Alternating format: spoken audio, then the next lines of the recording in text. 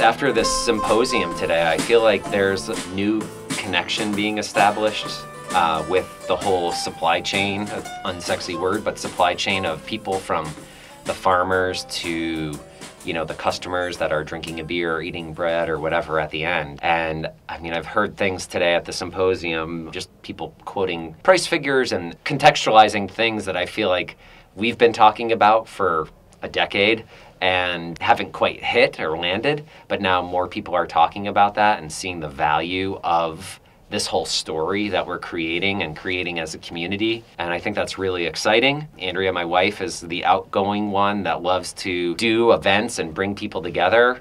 But I really see myself being a nuts and bolts person that's putting things together and figuring out ways to make things happen. So, how do we get grain from the field and the farmer to the baker, to the brewer, to the distiller, and then ultimately to the customer? I see my role as being pivotal in engineering all the processes that put that stuff together.